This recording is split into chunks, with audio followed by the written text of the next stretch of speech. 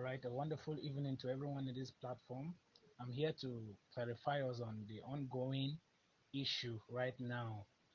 So, um, yes, we have the the mandate at hand. The mandate is in the hands of the, the masses right now because the documents have been handed over to Apostle Ken for the disbursement as we speak. But then um, UN have a policy, the United Nations have a policy of grants, whereby when this grant is being given, because Nigeria is the, the, the largest nation, African nation that will commence this uh, United Nations grants before others follow suit. So then this Nigeria is like the the the, the forefront um, disbursement focus right now. So Nigeria will be the one to commence the disbursement. So then, in order for the disbursement to to proceed, there must be a broadcast according to the guidelines of United Nations. So then, United Nations gave out 5 million each to every beneficiary and 200 million to every bundle holder. That's the, the requirements that UAAG, that um, United Nations gave out for this disbursement all over Africa. But then coming into Nigeria, the leadership of UAAG had to sit with the cabals, and then the cabals had to slash down these prices, possibly because they needed to fall in to space to have uh, their own slots or whatever it is. But we all know the the kind of leadership we have in Nigeria. We know they always have one way or the other to deprive the people of what is rightfully theirs. And that is what has just happened. They cut down the prices that um, United Nations allocated for beneficiaries and bundle holders in this grant community. So then the issue now is coming if there will be a broadcast, what will Apostle Ken be given out to the public as the broadcast? How much will he be declaring for beneficiaries and bundle holders? And how much was slashed between him and the cabals so they could fall in?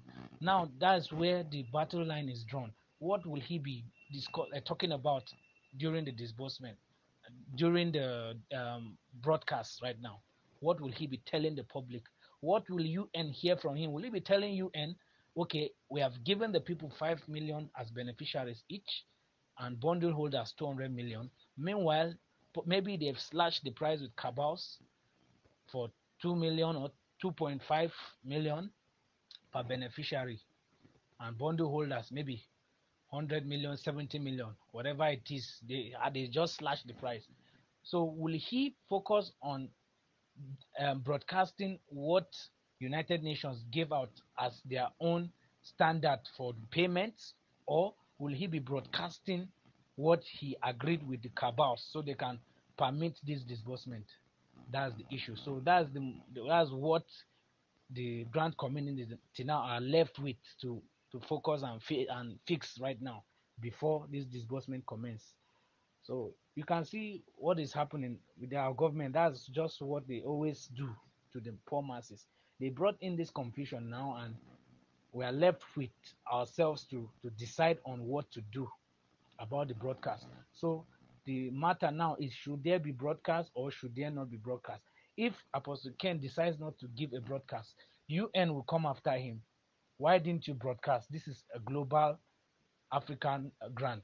Why didn't you broadcast it? What happened? They will come after him. So then, what will he be broadcasting after his agreement of slashing the prices with um, the, the cabals?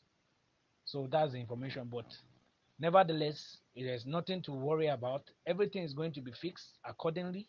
And the right thing that should be broadcast will be agreed upon and will definitely be broadcast and disbursement will commence immediately so there's no need to panic there's no need to for any chaos in the society in the community just god has done it for us the most important thing is that the the mandate has been given the go ahead has been given the documents have been handed if the documents had been in the hands of the cabals up till now that is where the issue would have been would have been still behind, but now it's over.